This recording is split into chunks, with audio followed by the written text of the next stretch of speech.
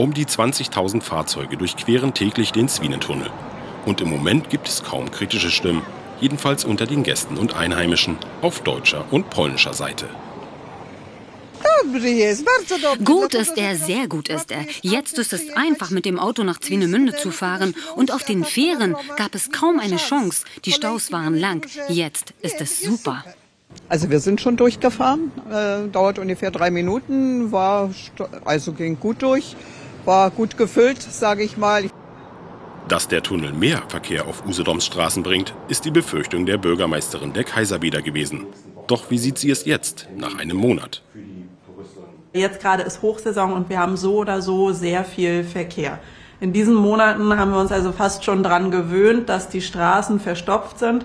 Ehrlicherweise, ich habe mit vielen Einwohnerinnen und Einwohnern gesprochen. Sie sagen, es ist so verstopft wie sonst auch. Dass es nicht noch mehr ist, habe vor allem damit zu tun, vermutet die Bürgermeisterin, dass die Hauptzufahrtsstraße aus Richtung Warschau noch nicht fertig ausgebaut ist.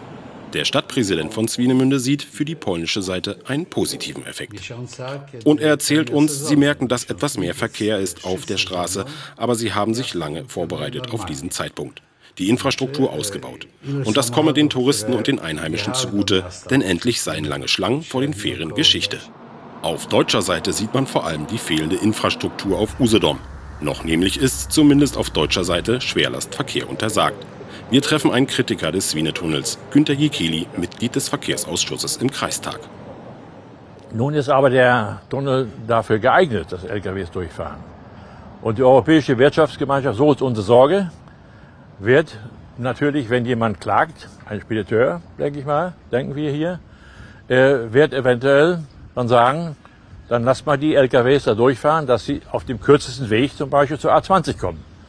Und dann fahren sie über die B110 auf der Insel Usedom und dann haben wir hier richtig was, ja, richtig was los.